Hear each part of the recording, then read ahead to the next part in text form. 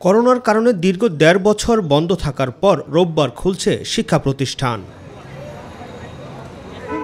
শিক্ষার্থীদের বরণ করে নিতে স্কুল কলেজে চলছে শেষ মুহূর্তের প্রস্তুতি। ধুয়ে মুছে প্রস্তুত করা হচ্ছে ক্লাসরুম।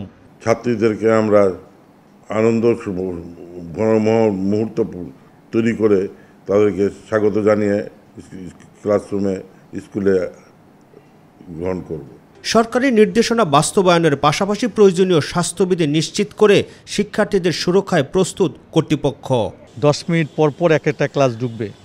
দশ যদি সাতটা পঁয়তাল্লিশে একটা ঢুকে, সাতটা পঞ্চান্নতে একটা ক্লাস ঢুকবে, সাতটা আটটা পাঁচে একটা ক্লাস ঢুকবে, আটটা দশে একটা ক্লাস ঢুকবে। ঠিক একইভাবে ছুটির পরেও দশ মিনিট পর পর আমরা তাদেরকে ছাড়বো। অতএব সরকারি যে নির্দেশনা আমাদেরকে দেওয়া হয়েছে আমরা সেগুলি অক্ষর অক্ষরে পালন করে আমরা সেগুলি করব। এরই মধ্যে বিদ্যালয়ের প্রবেশদ্বারে রাখা হয়েছে মাস্ক হ্যান্ড স্যানিটাইজার সহ প্রয়োজনীয় সুরক্ষা সামগ্রী। মাপা হচ্ছে তাপমাত্রাও।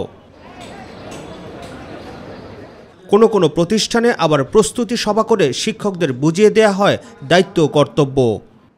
আল্লাহর রহমতে কোনো জায়গায় কোনো সমস্যা মানে আমার ব্যাপক প্রস্তুতি আমাদের আমাদের গেটের থেকে শুরু করে টিচাররা দায়িত্ব পালন করবেন যেন একসাথে গ্যাপ করে করে যেন বাচ্চারা যেন স্কুলে আসে। আমাদের শিক্ষকদের শিক্ষকদের সাথে কথা হয়েছে গার্জিয়ানদের সাথে কথা হয়েছে। তবে সব কিছুতেই প্রাধান্য দেওয়া হচ্ছে স্বাস্থ্যবিধিকে। শিক্ষা প্রতিষ্ঠানে তৈরি করা হয়েছে আলাদা আইসোলেশন সেন্টার প্রস্তুত রাখা হয়েছে অ্যাম্বুলেন্সও। আমাদের পাশে ইসলাম ব্যাংক হসপিটালের সাথে আমাদের চুক্তি আছে। যে কোনো ছাত্র যে কোনো ছাত্রী এবং কোনো অভিভাবক, অভিভাবিকা, শিক্ষক, শিক্ষিকা অসুস্থ হলে সাথে সাথে আমরা সেখানে প্রেরণ করতে পারব। তার জন্য আমাদের অ্যাম্বুলেন্স রেডি আছে। আমরা আইসোলেশন সেন্টার আলাদাভাবে করেছি। Rakib Hasan My TV Dhaka.